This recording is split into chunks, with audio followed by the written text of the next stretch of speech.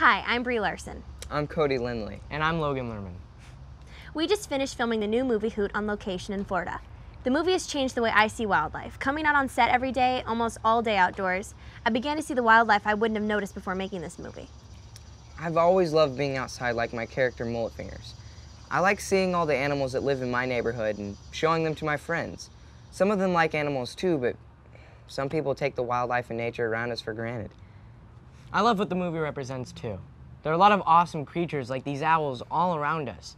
We're changing their habitats and ours. But no matter how old you are, you can be a part of a cause and stand up for what you believe in and change where you live for the better. Yeah. That's right. Just like the kids in the movie, everyone can do their part to save a habitat. Wildlife and nature is very important. So get outdoors and have fun discovering the wildlife where you live. So join us on the set of the new movie Hoot and the National Wildlife Federation and protect wildlife habitats where you live.